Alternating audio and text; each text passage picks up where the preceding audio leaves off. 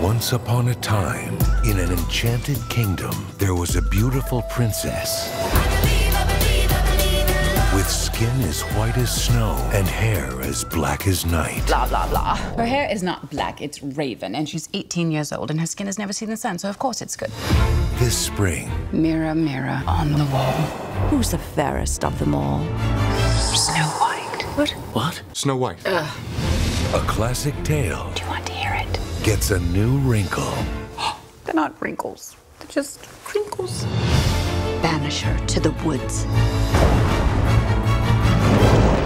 Is it done? Just as you instructed. I'm impressed. You're not as pathetic and wimpy as I have always believed. That's the nicest thing you've ever said to me. You're invited to discover The prince is rich. I'm going to marry him, and then my financial problems will be solved. An untold adventure Organize a ball. We are going to sweep this kid off his feet. of romance, I think Snow White is the most beautiful woman in the whole world. Agree to disagree. mystery, Who are you? Snow White. No, who? No way! power, This doesn't fit. Well, your you must have shrunk it, cinch me up.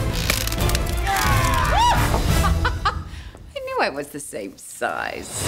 and magic. I'll use the love potion. Puppy love. What am I supposed to do with a puppy? You can rub my tummy. Fetch! Queen is getting married. Take back your kingdom. I read so many stories where the prince saves the princess. It's time we change that ending. You're with the bandits? You're with the queen. Should we help her? She's doing pretty good on her own. If you weren't trying to stab me right now, I might be tempted to kiss you. The bandit's leader is a she. Bandits' leader is Snow White.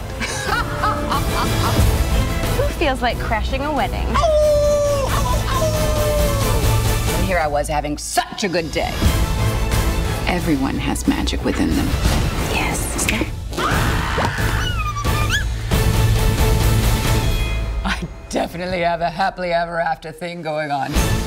Mirror, mirror, Anyone know how to break a spell? Say hello to my little friend.